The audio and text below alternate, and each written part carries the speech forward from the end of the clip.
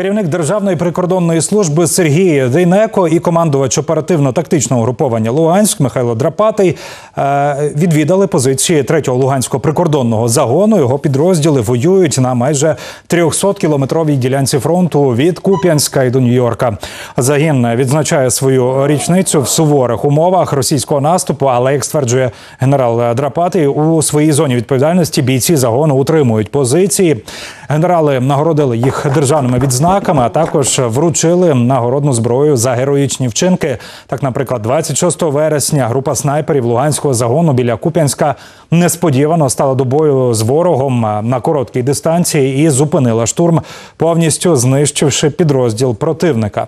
Луганський прикордонний загін має також назву Бригада помства. Ще влітку 2014 року його бійці в повному оточенні билися з проросійськими бойовиками в Луганську.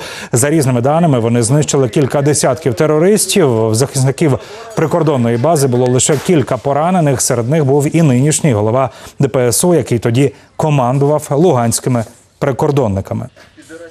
Щиро пишаюся тим, що свого часу я очолював цей прикордонний загін. На сьогодні дійсно Луганський прикордонний загін це бригада помста.